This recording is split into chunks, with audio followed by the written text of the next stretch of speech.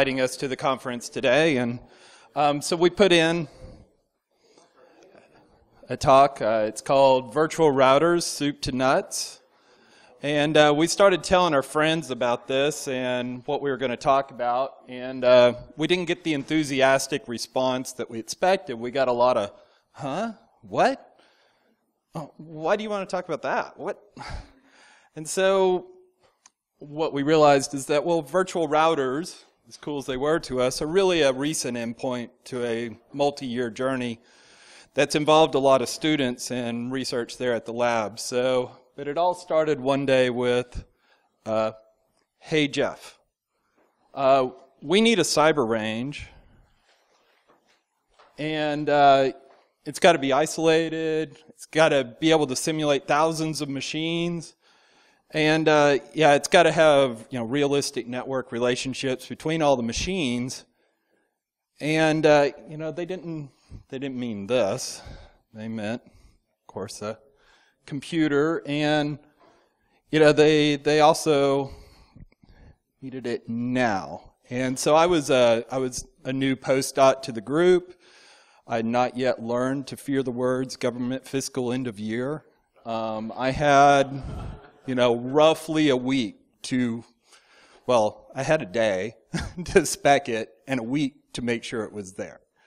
Um, and uh, it goes back to a project that, well, there was an oopsie that occurred that, you know, so that's why the isolated networks was they were testing something, it got out. Uh, cyber ops didn't like the whole ORNL network being a test bed so that's why, you know, we had to simulate thousands of machines and they wouldn't lend us theirs. And well, we couldn't make it too easy for it to spread around, so it needed some realistic relationships in between.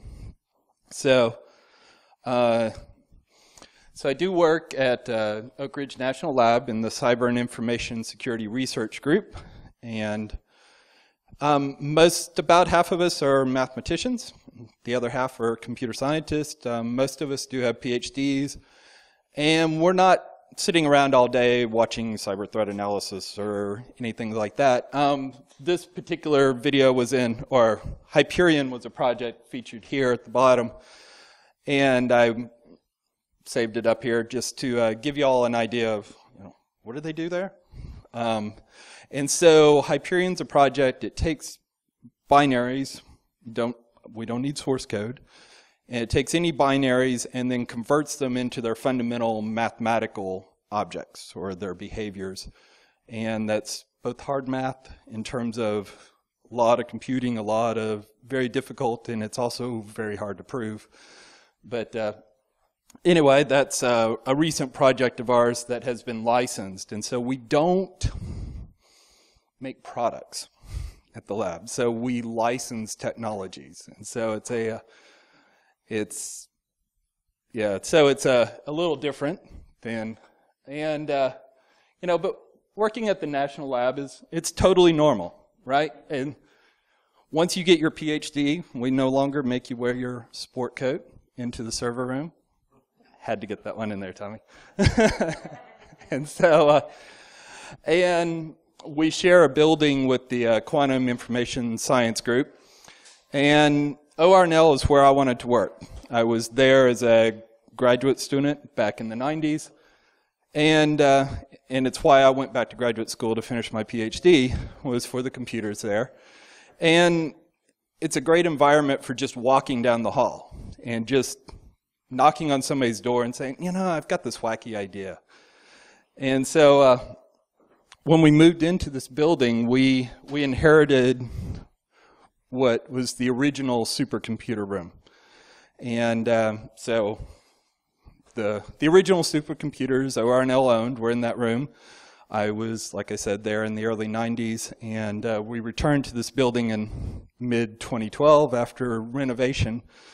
And in the meantime, there's a much, much, much larger supercomputer complex there covering acres of space. So this server room had become just a graveyard of junk. And, uh, well, this is actually it today because we just got in 50 servers from uh, Titan. But it was much junkier than that. It was it was a huge you know pile of stuff, and we we're still pulling stuff out of that room.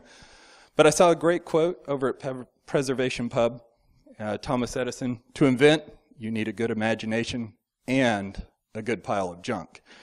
And so, this uh, room provided that for us. So, getting back to the story, so the computers were on order for the cyber range, and in the spirit of Oak Ridge, we started building before we knew what we were building. And uh, so, what's a cyber range? And a colleague had pointed me to one. He's like, oh, go talk to Cypress. Yeah, so if you, this is a Google search from a few days ago. They're still number three on the list. Um, and he said, go talk to them. They're a cyber range. I was like, oh, okay, I'll go talk to them. Well, up here, I think it says, da da da da, realistic hands-on cybersecurity training scenarios, blah blah blah blah. I'm like, cool, but where do I blow stuff up? I I, I missed that part. And the Michigan Cyber Range is kind of the same. It says cybersecurity courses, exercises, services, and well, both of those are training. And I, so that's one of our T's, but then we've got the National Cybersecurity Range, or cyber range at the bottom. Well, this one's from DARPA, scale model of the internet, which can be used to carry out cyber war games. Now, you know, they're the ones that got the testing. They got where you can blow stuff up. So, uh, so we were kind of left with, okay, we've got these computers, they're here. We got to turn these things into a cyber range. And uh, so, well, the first one you kind of get for free isolated network if, you know, assuming I configure everything so nothing, everything's internal to the cluster, then I just pull one cable and I've got that one. So that one's cool. That one was easy. Okay. So the second one was thousands of virtual machines. And uh, um, yeah, so this is going to go a couple of different directions. And the first one is called Megadroid. And this is a colleague at Sandia National Lab out in California. And it says up there, 300,000 androids clustered together to study network havoc.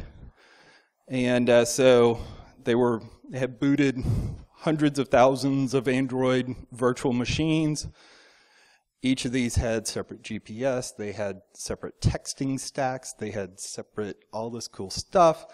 And so you could st study a whole city's worth of phones. And I'm going to quote their publicity. Understand and limit the damage from network interruptions due to glitches in software or protocols, natural disasters, acts of terrorism, or other causes. End quote. But what we know they were really building was the world's greatest ingress blaster right there. so, so um, Megatux and MegaWin had preceded uh, Megadroid, and so they all used a QEMU, or anyway, KVM. Um, Megatux had booted over a million Linux kernels on their cluster. MegaWin came along sometime later, I'm not sure when, booted 100,000 Windows XP and Windows 7.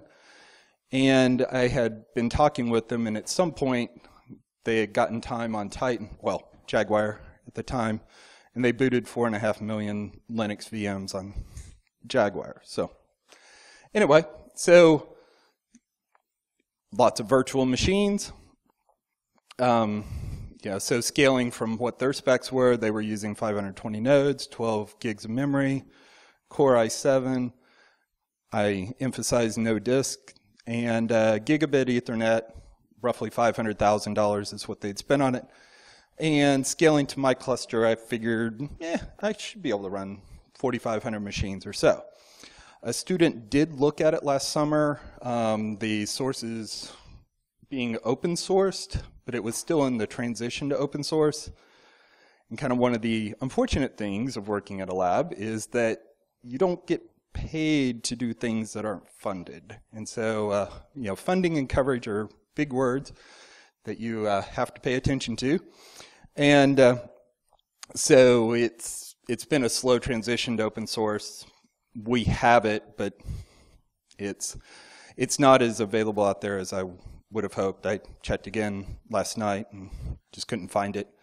Um, so the uh, the funny was that um, whenever I checked out these machines and they were shipping this way, it's like okay, I specced out, you know, went and got Seagate drives or something, and and had specced all that out. Well, and I had found drive caddies for these HP machines coming in, and uh, well, it turns out that HP had purposely changed their design so that you could not get the drive caddies, and they charged an incredible amount for the drives, an incredible, like over a thousand dollars for an SSD type incredible. So that's why none of my drives have covers. What I did is I went and printed with the 3D printer the rails that they're all sitting on. So I saved over like twenty-five thousand dollars doing that. So anyway, you know, it, that's uh, yeah. So it was it was nuts. HP was not very happy with me. But. Okay. So anyway, so now we've got thousands of virtual machines, at least theoretical, and all that was fine with me until another. Hey Jeff, uh, we need hundred Windows VMs by Monday and there's some bigwig coming in for a demo. We promised him everything, and well, we've tested it with four, and it, it, it went way too fast to be really impressive. So we need a lot, and uh, well, I didn't have hundred Windows machines, and I didn't have any students at the time, so you know it was going to be me doing it, and so. But I did have some friends, and pictured here are a couple of machines and also an Oak Ridge tradition. These were called Fat Man and Little Boy. And these are two machines for um, National Institute of Health, Medicare, Medicaid fraud detection research. Um, the stack on the your left, okay, um, is uh, a giant Hadoop cluster, 256 terabytes of storage sitting up here, hundreds of cores of uh, compute cores sitting down here in the bottom, and uh, it's running Xen server. And I, that used to be in our server room for a long time, right, guys? A long time. We thought we'd never get rid of them, but yeah, we had a great relationship with these sysadmins. So I went to their door and said, "Hey, I need 100 Windows machines. How can I do it?" And so Cheetah was born. Um, I scraped together some USB drives, a few hard drives that I had laying around. I could boot a Windows machine in about a minute, and so success, I could run 100 Windows machines. And uh, so I was using Xen Server. It is open sourced, and um, students can support it. And so that's been an important thing here is just getting, being able to keep it administered. Well, okay. So uh, Cheetah today continues to run um, Xen server. We, what has been a great feature of it is that the researchers don't have to conform their work to the machine. They can say, oh, you know, this software only runs on this version of Linux, and we're fine. Know, we can we can boot that. We do run a window a mixture of Windows and Linux. Um, it uh, one we're running a Hadoop cluster for Department of Transportation and malware research on it. Each machine now has 128 gigs of memory, five terabytes of storage per node. Um, some have computational GPUs.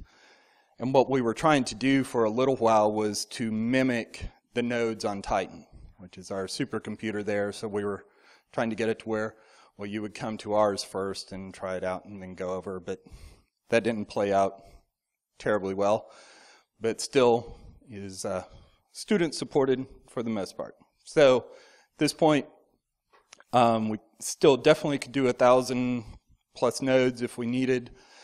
Um, we mainly maintain now VMs for researchers, and but we do keep it ready to repurpose for cyber range operations, and it's still a good student research um, test bed. And so we're uh, moving on to our last item on our checklist was realistic networks. And uh, so this is also going to break into two pieces. And so one's the physical network properties, and then the second being uh, network components. And so um, these next several slides um, come from Tommy Hardin's CCI project with me last fall, and Tommy's up here and uh, in front. And what a CCI project is, is it's community college internship. It's what? Initiative. Well, okay. so, um, so it is. I anybody's here, especially from Pellissippi or any of the small community college. These are really good chances for you to get in and uh, come to the lab. Our our group by itself hosts 25 students a summer. Um, there's about 600 students that come to campus every summer, um, but then there's um, but the SULI and CCI students. They're paid the same. They get to do the same work, and uh, but the CCI is much less competitive. The SULI, um, I'm not even going to pretend to remember what it stands for, but that's the one that the uh, the Harvards and the Yales and the those other students come after. But the CCIs will often end up still with a few extra scholarships left. And so don't think that, well, I don't go to Harvard or Yale, that I can't work and do some cool stuff. So anyway, getting back, problems with the cyber range. Well, they're all in the same box, or at least in our design, they're all in the same box. They're all in the same room. You know, so you know, there's no great distance for network latencies. All the latencies are going to be the same. All the communications are going to be fast. And they're all going to be reliable. Well, real world networks don't have those traits. And so we had the question, you know, so how do you add these physical network properties to a stack of just servers? And so this involved walking down the hall and chatting with somebody, and I was just, hey, have, have you ever heard of anything? And so I asked another colleague, and he pointed us towards something called WANEM, which is Wide Area Network Emulator. And so was a, uh, um, this is where Tommy's project picked up was exploring WANEM. And so it was to add the real world simulation of packet movement between networks with dropping packets, network latencies, bandwidth, bandwidth usage. Um, we had set up a small experiment, and so this is showing um, we had 25% packet loss is what we were aiming for, and a 200 millisecond latency. And so we have a column of 200s, and you laid it out hooking it up to a normal network switch, but then you were routing through the WANEM box in order to, to pick up these traces or to pick up these uh, network features. And so with WANEM, well, it was old. It was uh, um, Knoppix based, which I, anyway, I don't know a whole lot about Knoppix, and it was old, but it was open source. It was mainly Bash and PHP. Um, the way we booted it, it was just a live boot image. And it was set up through a web page. So there was no scripting, you know, and we were trying to pick these features up. And what we really wanted was this module that we could take and plop into our chain somewhere in the uh, Xen server, and then we kind of hooked some machines behind it. And so then, in order to get to those machines, then you you would pick up all these features like they were on the other side of the country. And so, digging through the scripts, we found that it was all really ultimately an interface over a command called TC. And we're like, huh, what's TC? So it turns out to be a good old base component built into Linux, or the Linux, at least the router stack of Linux. And so it stands for traffic control, all the different uh, physical features that we were wanting are just you set arguments into TC and you know so overall we could declare you know this is good enough we could somehow kind of work around TC set up a very small Linux virtual machine inside of our Xen server and and um, wire into Ethernet ports have TC in between, and you know, so we could we could declare this one success. And then after uh, after we'd done all this work and dug through all this stuff and piled through all that junk, I went back to my colleague that I'd originally asked about WANEM, and he's like, and I said, "You ever heard of TC?" And he's like, "Oh yeah, of course, it's traffic traffic control." And he went on, and I was like, "Well, you know, you could have saved us a lot of work." But, well, it was fun, right, Tommy? Okay. so, so it's it can be a little messy. I you know, but we kind of considered the messy and the homegrownness of this to be a, a little bit of its charm. And so we're we're getting down finally to our uh, maybe our what our subject was originally be the uh, the virtual routers, and so you know cyber ranges in any of these things we do malware testing and um, things like that, but you know for those you're really mainly focused on the machine realism. Can we hide that it's a virtual machine from the malware so that the malware will do whatever it's supposed to do? And yeah, so rarely do you mess with the network and but it kind of had the question in the back of my mind, you know, could we get to those components someday? You know, could we could we get to those poor neglected machines that are you know, millions of them sitting out there, the routers and the switches that carry all of our traffic, but we don't think about them. And uh, and so anyway, uh, inside of the various virtual machine clusters that you work with, Xen Server, VMware, they have virtual switches. Turns out uh, XenServer uses something called Open vSwitch. It's really cool. I don't understand it. Uh, I get very, very, very confused um, with it. Uh, VMware has this virtual switch that's it's one that I'm much less confused by, and uh, so at least I could see, oh, this is hooked to the NIC. Okay, I understand that. You know, and if I hook a wire in here, it's going to go to these machines. Okay, I understand that.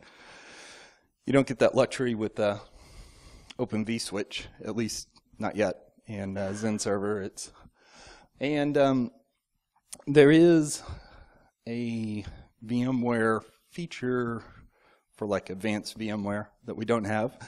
Virtual, and it's called their virtual distributed switch, and that is a Cisco virtualized switch, I think, a V1000.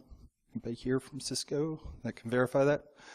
Um, so I did have a student last summer trying to figure out Open vSwitch for me, and he was trying to create good networks and bad networks, but uh, we it didn't didn't go real far, and it was uh, still confusing. But overall, you know, there are wires or something. Somehow these machines joined together, but it was still virtual. You know, and is Open vSwitch going to behave like a real router? Could it be misconfigured like a real router? Who in the world knew how to configure one of the stupid things and misconfigure it like a real piece of hardware could be? And uh, so we've wanted to do things like maybe VLAN attacks or how robust are the packets and you know what could you do? So uh, so then Tommy came along one day and said, hey, there's this really cool thing that I saw somewhere, school or someplace, and it's called GNS3.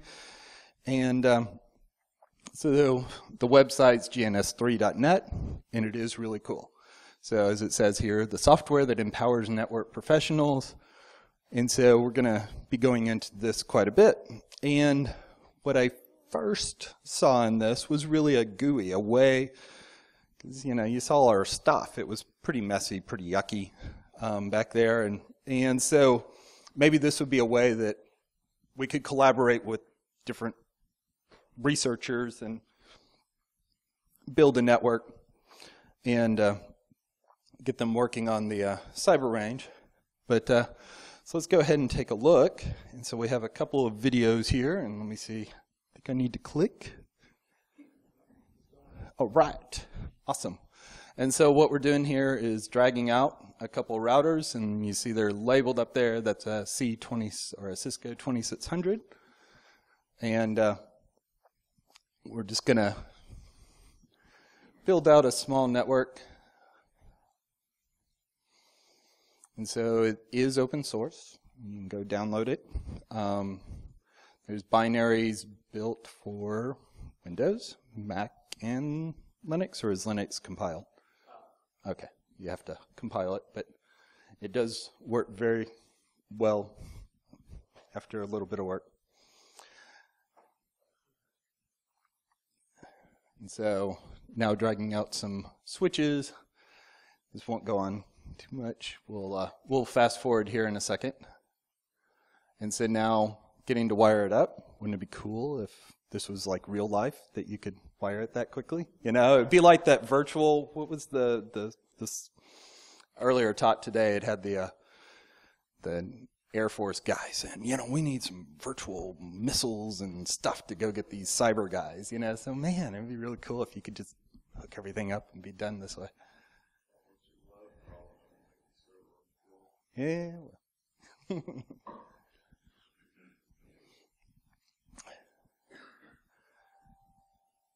Okay, so I think we're pretty close to the end. So I'm going to go ahead and um, jump to the next one.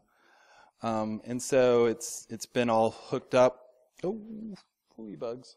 Yeah, it's par for the course. Okay, so let's see if we can get it to play. No, we don't want to play that one again. All right, are you going to play? Please? Yay. Okay.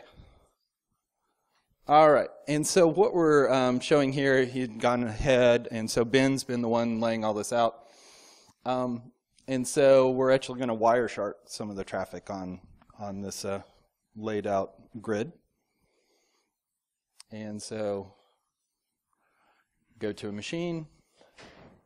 He started Wireshark on one of the links.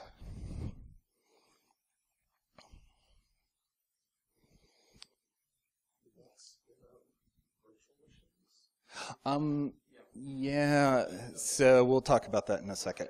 Yeah, they're very simple machines. Yeah. So anyway, I think that's the end of the video. But overall, your Wireshark's built into GNS3. So here you are. You can do this really cool. I'm gonna jump back. Ah, yeah. That one. No, don't play again. Anyway, uh, you know that you've got it labeled. You've got it played with. You've got stuff and blinky lights and all kinds of cool things right there. It's great. And so um, let's see if we can go over, please. Yay. All right. So GNS3, it was uh, originally created and is focused on the networking certifications, so the CCNA, that kind of stuff. There are training videos on itpro.tv, and uh, so both um, Ben and Tommy have watched that. And it's just a great test environment to tinker around with lots of equipment that you could never go out and actually own. And you know, I, I, like I said, I saw a GUI for this big mess, and so maybe we could do something like, well, you build it in GNS3, and then somehow we turn a crank, and poof, it you know it, it worked out on XenServer. It would already be tested. It would already the researchers could go, oh yeah, that's what we want, and there it would be. So that's what we were hoping for, and and uh, there was one other feature in here, and uh, this is where we get to virtual routers, and uh, running real IOS, and so uh, hopefully, it's another video here. Um, I'm gonna do, I've already forgotten. So, okay. Or is that a PC? I missed the. Uh, so we're on. So the to answer your, the PCs are really simple. They have basically ping and I don't know what else, but not very much. You know, not much above a DOS box, if that far. And uh, so he's pinging inside the left-hand network, so it's just going across the switch here. And so, yay, success. And now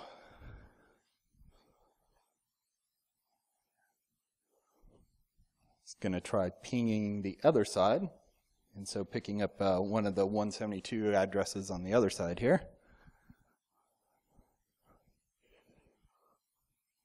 And yeah, who got that one? Yeah. So, So now, no route, can't get across there. Destination host unreachable. Going up, and now here's where kind of the amazing stuff comes from, if you uh, know what you're seeing here.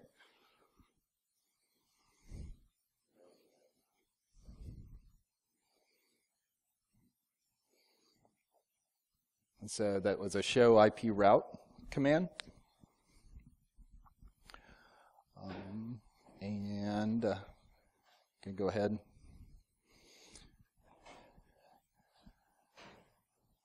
Two, two, two, at some point. Did it end? I, no, it doesn't end yet. Ah, there we go. Okay. uh, so doing standard Cisco commands, jumping into whatever mode that's called. Um, yeah, global config, adding the route. This isn't a simulation, so. No? sorry. I was stretching them out as much as I could. I'm sorry, but I'd be glad to play it. And so, adding the route, I can read it to you. I'm sure you would love to have me read you uh, Cisco commands. Um, and so anyway, um, but it's straight. They're it's running IOS, and uh, so now did oh okay. I forgot what Ben was doing here. Yeah. And basically, I was the guy that did that. So. Uh, and basically, I just set up a static route between those two networks. Oh, okay. And now it's succeeded, right? Okay. And I guess you're going back to the machine and we'll prove it out that now traffic's going to cross this link across the top, route between the two routers. So we could see how the story ends here. So be happy here. Dun, dun, dun, if you can remember the IP address. Come on.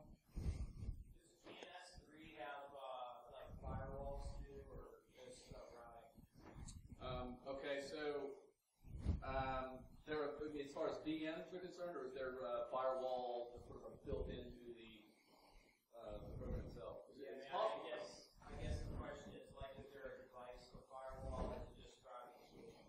Um, it's mostly routing and switching, though there are a couple of Cisco firewall. Yeah, there is a Cisco something ASA. Yeah, there is a Cisco ASA. Okay. Yeah, so that's in there. So uh, I really like this lizard here he or she, we'll say a she, reminds me of Liz, the lizard in the Magic School Bus, so that's why it appeared a couple times. Yes, that's exactly how you're supposed to do it. Yep. Yep. So that's where we're heading. So, okay. So, yeah, the the virtual computers in GNS3 are just lacking in any fidelity. They're not real machines. They're these, I don't, something, DOS boxes, basically. But the network components in GNS3 were just extraordinary in fidelity. I, I didn't expect that we'd ever get there. And so now, could we kind of marry the two? Could we bring the VMs that we had over on Xen Server to the GNS3 virtual routers? And I think I've added, but anyway, GNS3 is open source and mostly Python. So, you know, in terms of a project, you know, this it doesn't get any better. So, the project for well, how did GNS3 do it? It's just Python. We got to be able to figure this out. Well, it's a project. You got Python, you get the GNS3 source, you get Eclipse, and you get a student. And you teach the student Python, and then you just wait until the student steps through, steps through, steps through in Eclipse until the student figure out where the magic happens, and then poof, you know, we have completed the project. And so, well, Ben here's the student, and so we had everything else, and we started, we got the source, and we started working on it, and then it was like, within the first hour of just going through the source code, getting it lined up, trying to figure out how to do it, we came across this uh, this package called Dynamips in there. I was I could account for everything else, and there was this Dynamips, and I'm like, hey guys, what's this Dynamips thing? And they're like, Oh, Dyna IPS. Yeah. Yeah, they talked about that in the IT Pro videos. And it was like, hmm, I sure it's Dyna Dynam IPS? And yeah, sure enough, he pronounces it that way. But I looked at it and I'm like, I bet this is a MIPS chip. And they were too young to know what a MIPS chip was.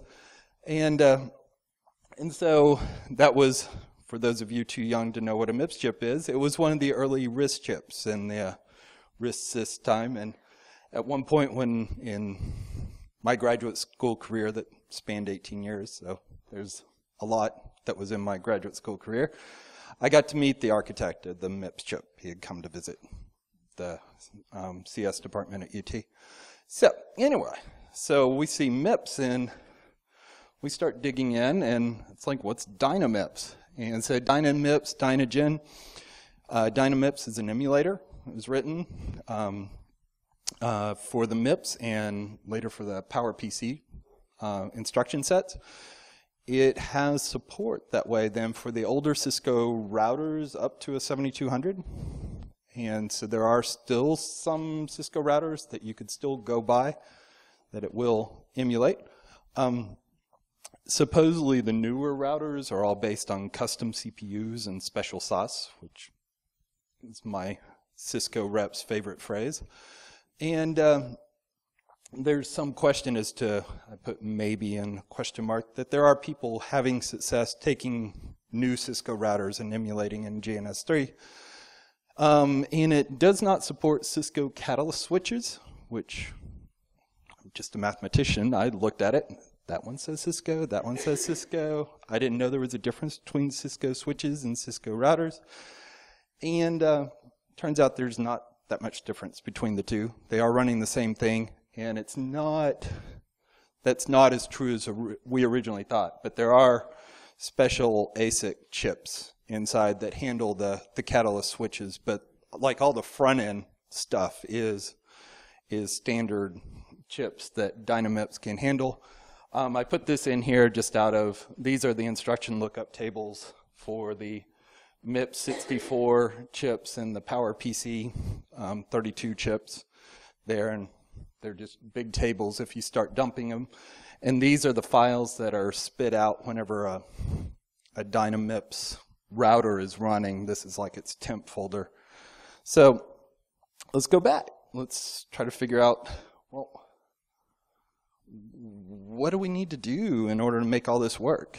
And so in this video, we're going to go and um, actually import from scratch a, uh, a router. And so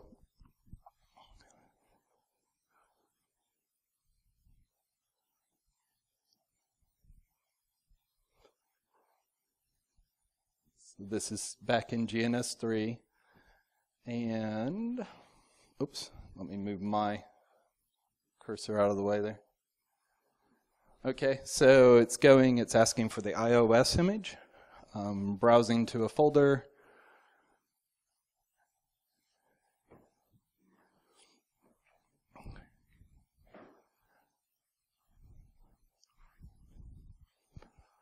And choosing, this is a C2600 or Cisco 2600 image. Um, it was asking there, do you want to decompress it? And so if you fire up, if you watch a Cisco router booting, one of the first things it'll say was decompressing the kernel. And so um, this is preemptively doing it, and so you don't have to decompress it each time you fire it up. Da, da, da. Um, this is um, you know basically figuring out what are you going to call it?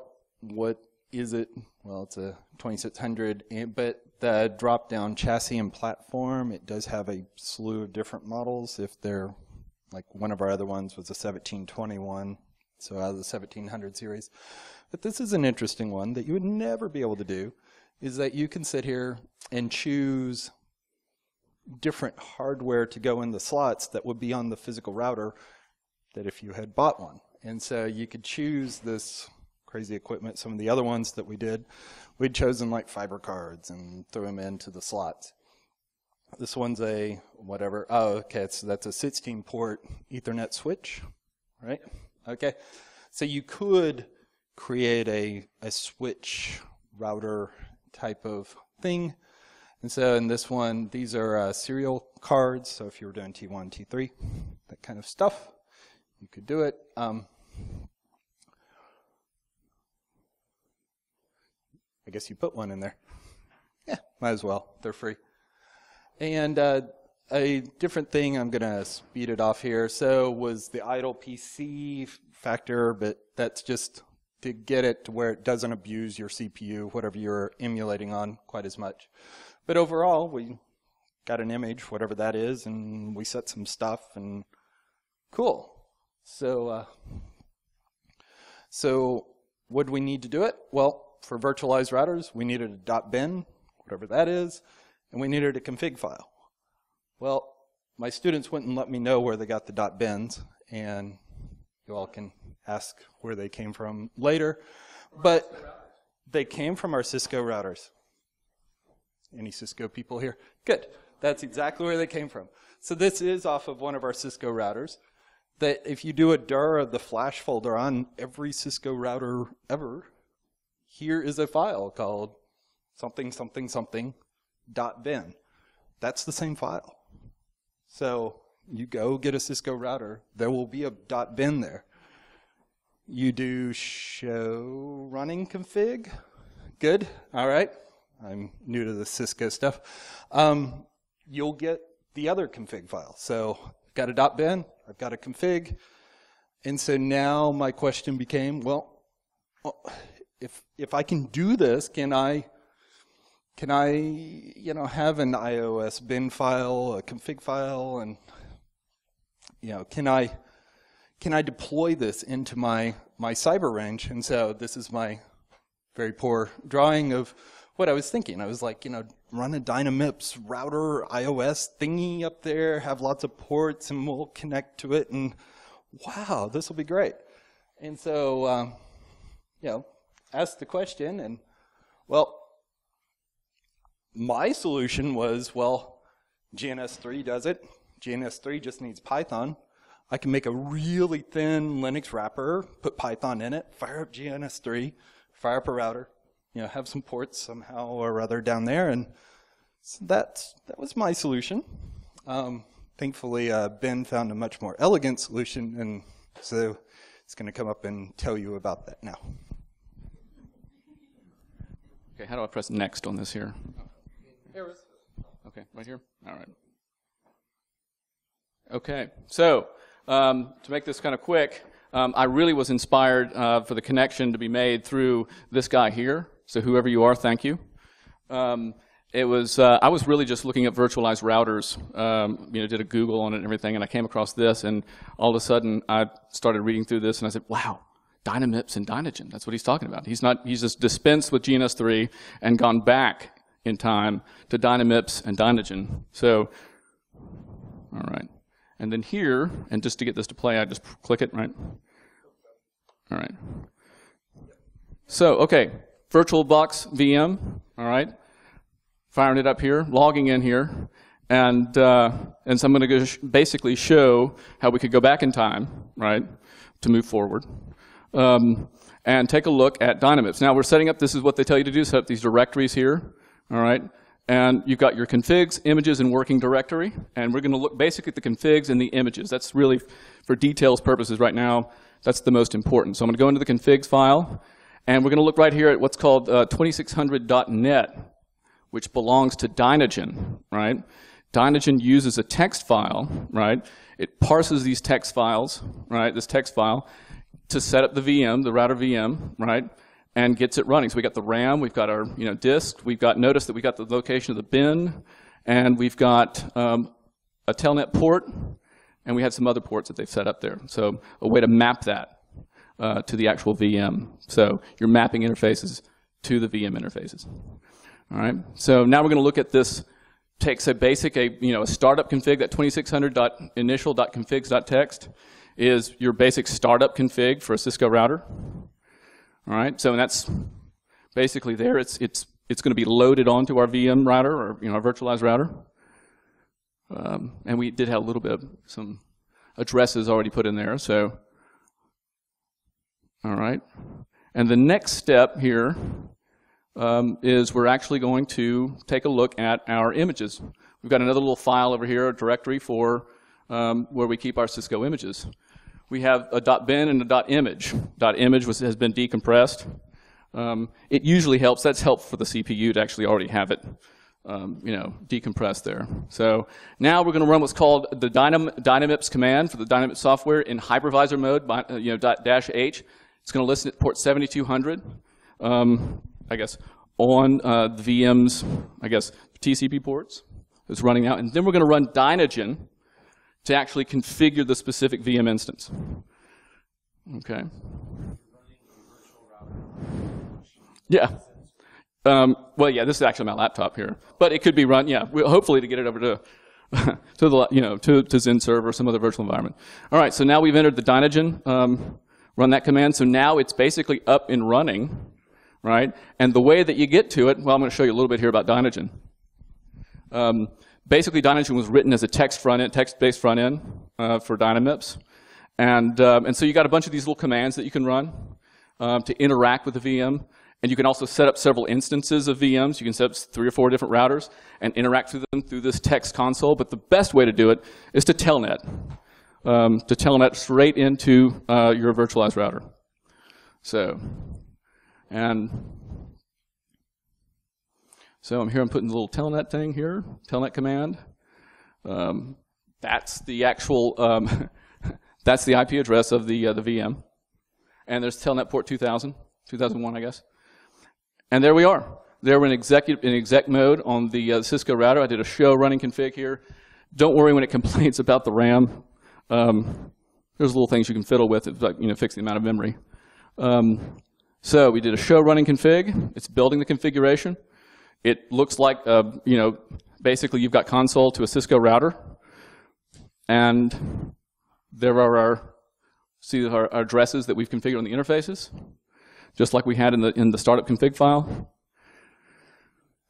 And then finally, we're going to do a little show interfaces here and show you that just looks like when you run a show interfaces command there. Um, that's the information that's being pulled up.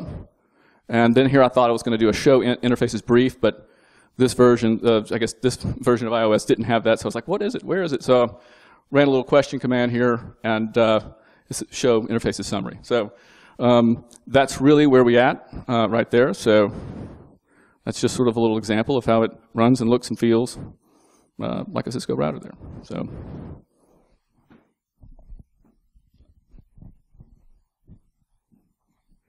Thanks, Ben.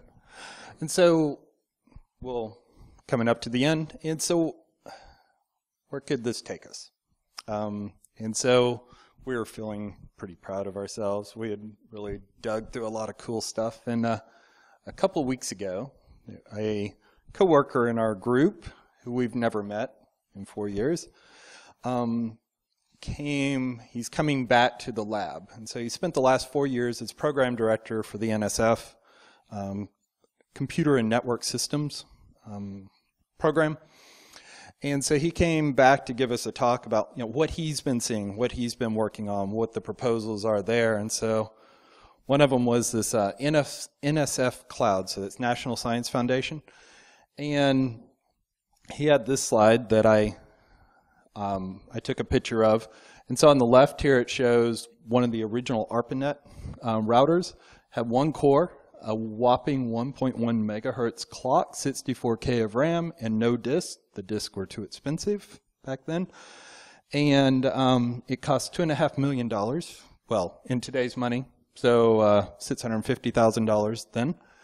And on the right is something he's calling the GENI project, or and it's uh, the rack has whatever each U high had 32 cores, 2.1 gigahertz, 16 gigs of memory.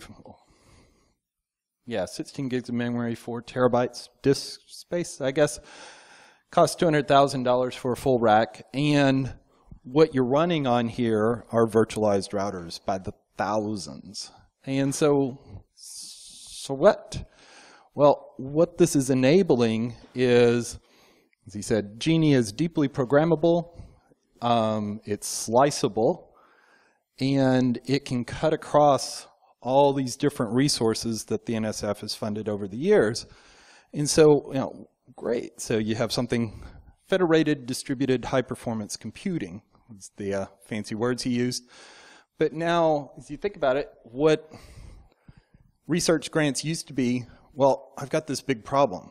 Well, I need a really big machine to solve the big problem. And so the research grants were often about how do I get this big machine? What am I going to do with it after it's over with? But with um, with these virtualized routers, well, we can slice you off a chunk of a machine across all the resources spanning the whole country and give it to you. And so it's, I coined the term writing up the slides, personal supercomputing. You know, it's allocated kind of on the fly as long as you need. And so now it's has the potential to free up all that research and that you can slice it out, get it. Well, that's cool for the scientists, but what about the rest of us? Well, it's all this. The GNS3 community is one now has millions of people. Um, they're pulling in Juniper routers. Juniper's participating Cisco, the Cisco Labs, Juniper Labs, um, some different things that Ben's found. I still don't understand software-defined networking. Well, there's a $50 class that you could sit there with real things and do real stuff instead of going and buying a Nexus 10K, whatever it is, trying to understand this. Training, certification still, but it's it's become a great tinkering environment. And so playing around to understand the new new threats. There's puppet scenarios. You can trace out what's puppet do, you know, all that kind of stuff. Um, so I don't want to slight Cisco in any way. Um, they have turned a blind eye to using their dot bins. Um, they, the Cisco rep was in my office a couple days ago, and he was like, "Well, all that's fine, but we have this product, and it's called the VIRL Viral Viral something Lab Personal Edition. It's two hundred dollars. What it adds that GNS3 and Dynamips don't get you is all the new stuff, and so it's got all the new routers and switches. There is a CML corporate network lab thing. It's about ten thousand um, dollars, and corporations are using it so that they can model their network before they try stuff out. So that's what they're doing with it. Like I said, the VMware distributed switch is a Cisco V1000, and Cisco is also participating in that GENI uh, NSF project. But overall, I just wanted to leave with the you know, GNS3 is a great community. Um, Cisco's um, been good too, but really like to see them contribute those missing machines that eventually the the Dynamips is just going to die out from uh, it just can't simulate the chips anymore or emulate sorry not simulate. So overall uh, cyber ranges virtual labs important for the big three T's the teaching which I uh, the testing so the cyber range type things that I was thinking of and now I think it's important for the tinkering I uh, wanted to put a shout out. I'm in the, one of the two organizers for DC 865 local group, and so we get together twice a month and tinker um, with the computer stuff and Knoxmakers. Um, they are they've been the soldering people over there. They're on the second floor. You aren't going to see them unless you go upstairs in the Scruffy City Hall, and I don't know if they've left yet. But anyway, they're here great groups, and uh, we get together and play around and tinker and sometimes blow stuff up. So that's what we have. Thank you.